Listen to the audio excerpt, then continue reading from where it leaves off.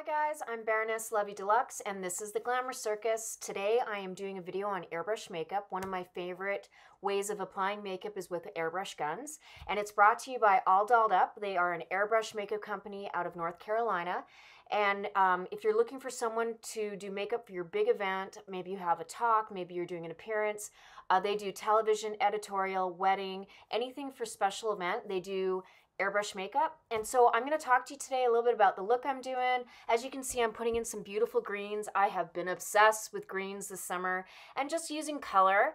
So um, I had filmed this video earlier and it was just way too long. So I, you'll see me talking, but I'm going to speed it up and I'm going to do a voiceover and hopefully you'll get a lot of great information and tips. Um, you can uh, click below to find out what products I used and just more information about All Dolled Up if you're in the North Carolina area. They are a traveling airbrush makeup company.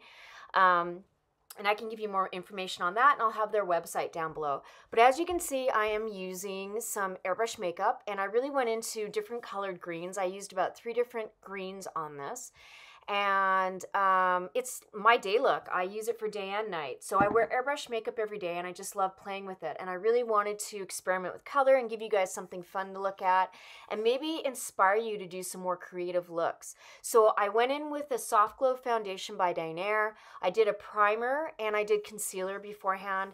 I went in with three different greens, added pink around the eyes, and now I'm doing a MAC green liner. I'm a big believer in using whatever tools you need to create your looks. Don't feel like like you have to use all airbrush or all makeup. Like let yourself play. So I'm going in and just doing my famous black cat eye with my stencil. And if you've watched my other videos, you know that I love doing that. So if you have questions about technique, uh, just let me know. Leave them down below.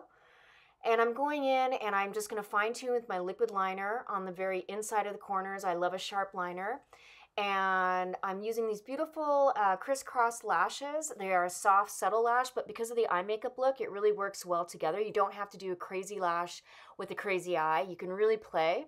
So I'm really big about ombre eyes and shadowing, so I hope you're enjoying the video. If you do, please like, share, and subscribe. I have tons of videos, not just on airbrush makeup, but on um, the hair and on the jewelry and all kinds of stuff. But back to the video, I'm using this gorgeous Shiseido green mascara for the bottom to play off the purple color.